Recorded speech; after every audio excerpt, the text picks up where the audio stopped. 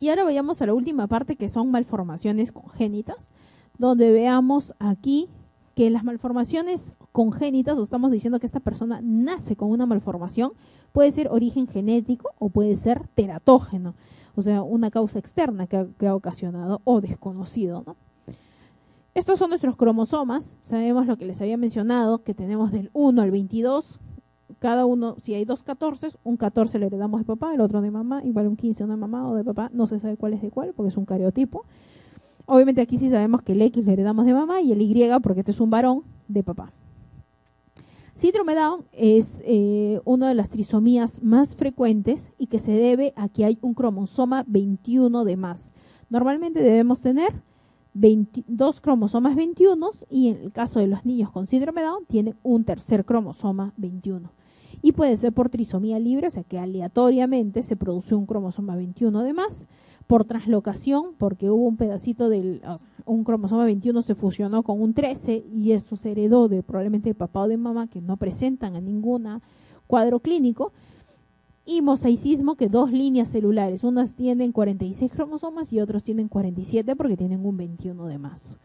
Las características clínicas de los niños con síndrome de Down es muy conocida, ya lo sabemos, podemos eh, eh, ver cuando tenemos un niño en la consulta con síndrome de Down con sospecha, clínicamente lo podemos saber, pero la importancia del cariotipo es para saber cuál de estos tres casos es. Si es libre, donde la recurrencia no es, eh, esto ha sido algo aleatorio, no hay una mayor recurrencia en la familia, traslocación quiere decir que pudo haber sido eh, lo más probable es heredado de papá o de mamá que no presentan ninguna clínica, pero hay riesgo que en las próximas gestaciones pueda volver a repetirse el caso. Y mosaicismo, que obviamente solamente eh, eh, no se encuentra este cromosoma 21 en la sangre como extra, sino en la piel. Entonces son los casos de difícil diagnóstico cuando vemos pacientes que dice parece o no parece que tiene el cuadro clínico y tenemos que tomar el examen de sangre o biopsia de piel para determinar el cromosoma 21 extra. Otro es el síndrome de Pato, que obviamente es un cromosoma 13 de más y que a diferencia del síndrome de Down, eh, aquí el pronóstico de vida es mínimo, ¿no? Estos niños no, sobreviven mucho tiempo por el compromiso neurológico, por el compromiso eh, cardiovascular, etcétera, que presentan. Entonces aquí a lo que manda la cabeza es el retraso mental profundo, eh, holoprosencefalia, cardiovascular y la polidactilia, lo que les mencionaba de los dedos extras. Y síndrome de Edwards tiene ligeramente un mejor pronóstico, pero igual no es que sobrevivan estos niños. Eh, la característica es la mano trisómica. El segundo dedo sobre el tercero y el quinto sobre el cuarto. Entonces estos niños nacen con esa manito así. Y no es que fácilmente la podamos sacar, sino es que ya nacen y su, manito tiene esta posición tónica donde tiene la superposición característica de un niño con síndrome de Edwards. Entonces eh, vemos estos pies, miren, en mecedora, cardiovascular, divertículo de Meckel, eh, pueden presentar un falocele también. Síndrome de Turner, donde aquí las niñas, en vez de tener dos cromosomas X, solo tienen uno, y eso les condiciona a que tengan una talla menor, tengan orejas de implantación baja y características principalmente en la talla y que no menstruan, o sea, tienen amenorrea primaria y que obviamente eh, difícilmente vayan a tener hijos. Estas niñas, señoritas, señoras, etcétera, no van a tener ningún problema en el punto de vista de eh, mental, ellas no tienen retraso, lo único característica es la talla baja y también que tienen este, amenorrea. Y los chicos con Klinefelter usualmente tienen una talla por encima del promedio, tienen ginecomastia y esto está debido porque en vez de tener solo un X y un Y, tienen un X de más. Aquí condiciona a tener un hipogonadismo hipergonadotrópico, que esto les va a llevar a una infertilidad y una talla alta. Prader-Willi es otro síndrome donde estamos viendo que los niños presentan talla baja, obesidad, y acá la condición es de que puede ser por una pérdida eh, molecular, o sea, estamos un segmento de, un cromosoma que es el 15 que se pierde, eh, o puede ser duplicaciones de material genético materno. Y Angelman, que también está ubicado en la misma posición que Prader-Willi, sucede también por una pérdida, pero acá la duplicación es del material genético del padre. Eso los voy a explicar aquí, miren. Prader-Willi, la región del Prader-Willi o de Angelman, ambas están contiguas en el cromosoma 15. Normalmente nosotros tenemos una serie de genes, no son todos, son muy pocos, pero es una lista de genes que eh, van a tener un efecto, eh, digamos, dependiendo si son heredados del papá o de la mamá. Entonces, los que heredamos del papá, en la región del Prader-Willi está activa, pero los que heredamos de mamá está inactivo. Y sucede al revés con Angelman. Entonces, digamos que este niño presenta una pérdida de este cromosoma 15 que heredó del papá, no va a tener esta región de Prader-Willi activa, porque solamente tiene esta. Entonces, desarrolla Prader-Willi. O, por ejemplo, en vez de tener este cromosoma de papá y mamá, tuvo dos cromosomas de la mamá, vamos a tener Prader-Willi. ¿Cómo así se podría generar que una persona tenga dos cromosomas de un mismo progenitor? ¿Qué pasa? digamos que hay un error en la meiosis y en vez de pasar eh, un 15 del papá y un 15 de la mamá, pasan dos 15 del papá y un 15 de la mamá. La célula se da cuenta y en vez de que nazca con una trisomía del 15, arresta o, digamos eh, quita a uno de los 15, debería haber quitado el excedente, pero digamos quita el de la mamá y nos quedamos con dos cromosomas de un mismo progenitor. Entonces, en estos casos que se llaman disomías, disomías de dos uniparentales de un solo padre, es que pueden suceder Prader-Willi o Angelman. Miren acá, el contrario es Angelman, si acá hubo una pérdida en la madre o doble material genético del papá. A ver, veamos preguntas. Dice, recién nacido que presenta orejas de implantación baja. Ya, esos hay varios. Defecto cardíaco congénito también. Edwards, Pato, síndrome Down, Turner presentan orejas de implantación baja, defecto cardíaco. Pero aquí importante, flexión de los dedos de la mano. ¿Cuál es el diagnóstico más probable? Flexión de los dedos de la mano. Trisomía 18, Turner, Klinefelter 21 o 13. Muy bien. 18, ¿no es cierto? Lo que estábamos mencionando, la mano trisómica. Recién nacido varón con síndrome de Pató. Miren, esa es regaladísima. ¿eh? Examen del año 16, 2016. ¿Cuál es la anomalía cromosómica que se, se relaciona con esta patología? En Pató. Perfecto. 13. ¿Cuál es el síndrome que se caracteriza por retraso mental? Polidactilia, pievalgo, onfalocele y potonía. ¿Mm? Muy bien. Miren, año 17. Señale lo que corresponde a Klinefelter. Gonadotropinas disminuidas, anosmia, testículos pequeños y duros, cariograma 45X o genitales ambiguos. Acuérdense que Klinefelter tiene un hipogonadismo hipogonadotrópico. Hipergonadotrópico, perdón. Hipogonadismo hipergonadotrópico. Porque aquí hay un problema a nivel de las gónadas. Sin embargo, arriba está mandando mucha señal, pero obviamente la gónada no funciona. Entonces, ¿cuál sería? Gonotropinas disminuidas, anosmia, testículos pequeños, cariograma 45. Cariograma 45, ¿qué cosa es? Turner, ¿no? Genitales ambiguos, no. Ellos son varones y no tienen. ¿Qué diría? Anosmia, ¿Testículos pequeños o gonotropinas disminuidas? Testículos pequeños y duros. Esta pregunta ha venido varias veces. ¿ah? No corresponde a Klinefelter, no corresponde. Ginecomastia, cromatina sexual positiva. Acuérdense que la cromatina sexual o corpúsculo de Bar se da por la cantidad de X menos 1. Por ejemplo, las mujeres tenemos 2X, menos 1 tenemos un corpúsculo de Bar. Los varones que tienen un X y un Y menos uno, ¿tienen o no tienen corpúsculo de bar? No tienen, ¿no es cierto? Una mujer Turner con un solo X, ¿tiene corpúsculo de bar? No. Un varón con Klinefelter que es XXY, ¿tiene corpúsculo de bar? Sí, uno. Entonces acá nos está diciendo cuál no corresponde a Klinefelter. Ginecomastia, sí. Cromatina sexual positiva, sí. Hipospadias, ya, puntito, le ponemos al costado, no sabemos. Fenotipo masculino, sí, ¿no es cierto? Asospermia, también. Entonces, ¿cuál no es? Hipospadias.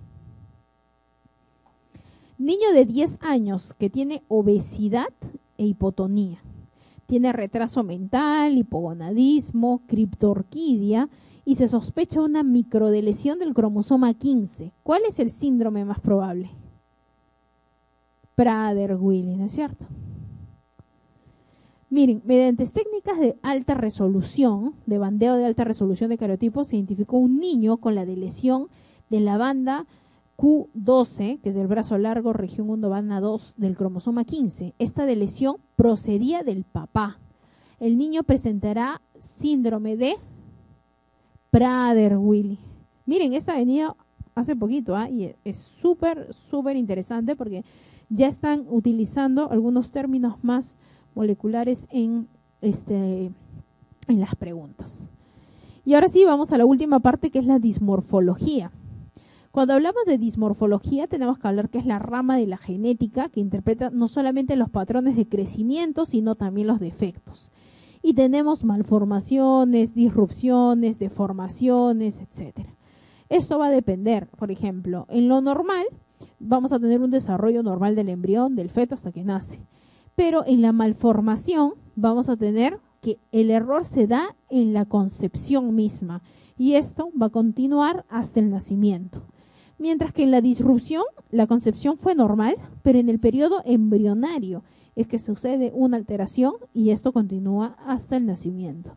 Y aquí en el último, en la deformación, la concepción fue normal, el embrionario fue normal y acá hubo un factor externo que genera una deformación que se va a arrastrar hasta el nacimiento. Entonces, hay diferentes tipos, ¿no? Tenemos holoprosencefalias, anencefalias, fisuras labiopalatinas. Acuérdense que no se dice labio leporino, es fisura labiopalatina o fisura palatina. Defectos del tubo neural, etc. Entonces, la malformación es el resultado intrínseco de un mal desarrollo en un órgano o parte de ellos.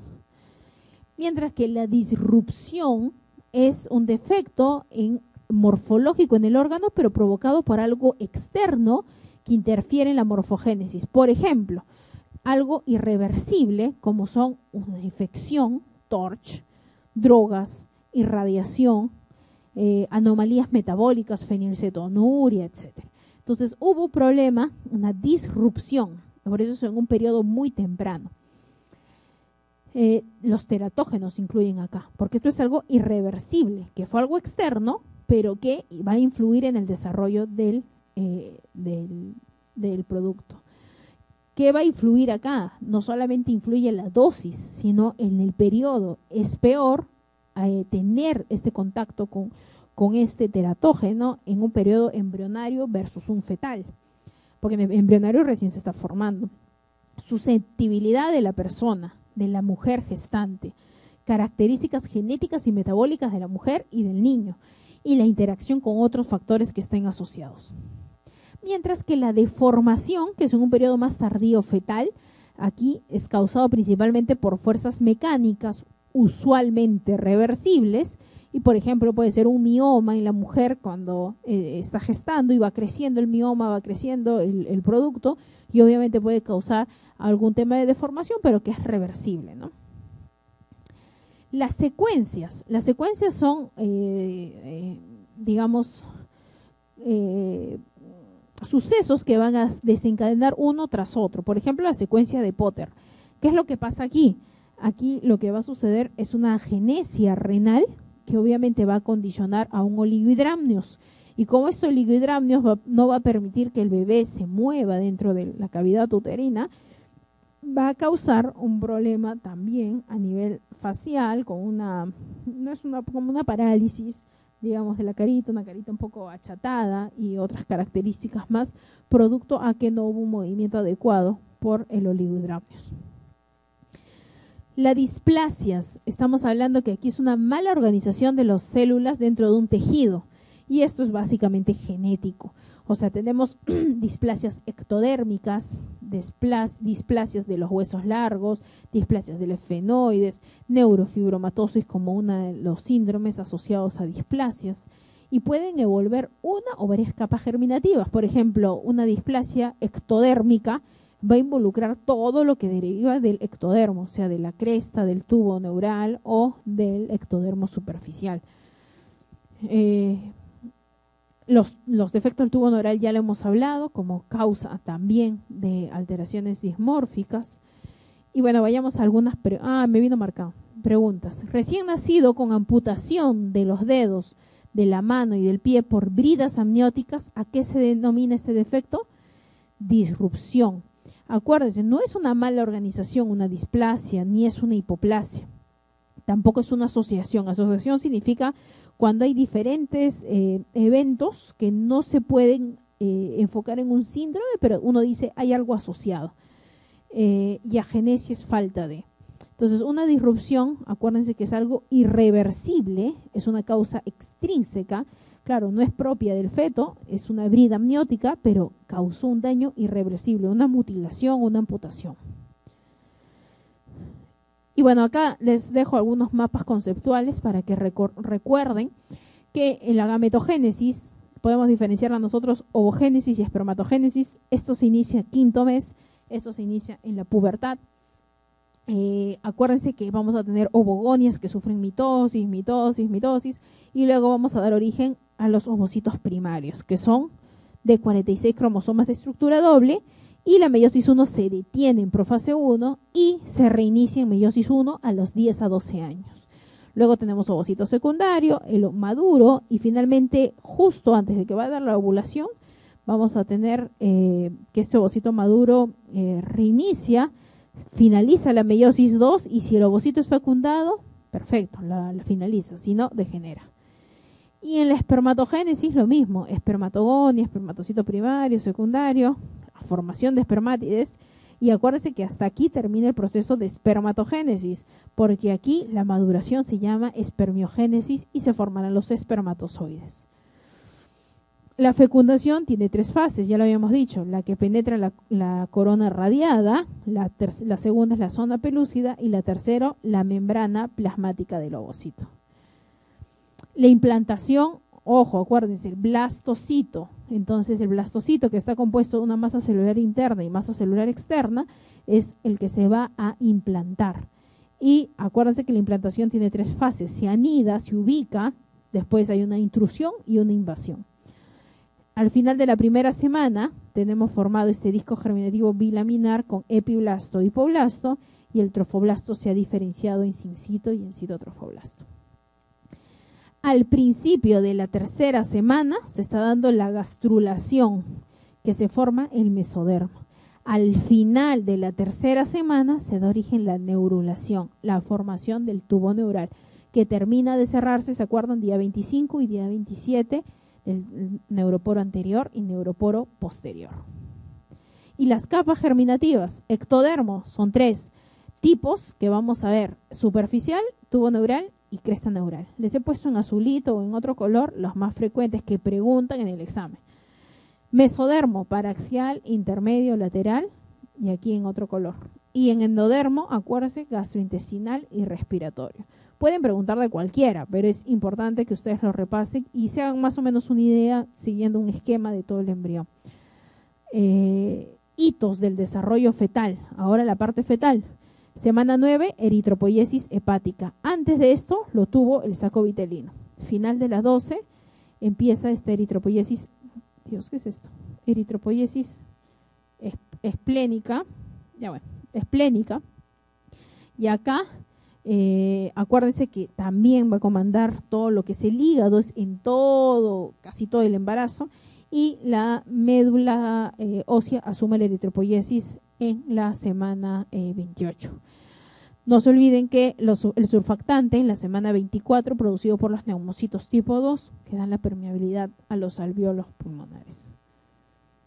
Finalmente, tubo neural, acuérdense que tenemos en la tercera semana se está formando, final de la tercera, Cuarta semana tenemos vesículas encefálicas primarias, vesículas encefálicas secundarias. Sexta semana formado completamente ya todo nuestro tubo neural, ¿no? Ya con el, cerebro, el, el epitálamo, tálamo y todo lo demás. Y por último, conductos de Wolf y de Müller. No se olviden que Wolf da origen a lo que es epidídimo, deferente, vesículas seminales, todo esto que es un desarrollo activo, ¿no? Eh, incluyendo acá el testículo, ¿no? Obviamente. Y acá los conductos paramesonéfricos o de Müller, trompas de falopio, útero, cervix, tercio superior de la vagina. Y esto es un desarrollo pasivo. Malformaciones congénitas. Acuérdense que todo lo congénito no es genético. Lo congénito puede ser genético, teratógeno, desconocido, etc. Más todo lo genético sí es congénito. La dismorfología tiene cinco grupos principales que eh, evaluamos en la genética clínica. Cuando vemos un paciente con una dismorfia, tenemos que saber si esto es una malformación, una disrupción, una deformación, una secuencia o una displasia. Malformación es un mal desarrollo desde el inicio. Una disrupción es un factor extrínseco pero irreversible, como esa mutilación que hubo por las bridas.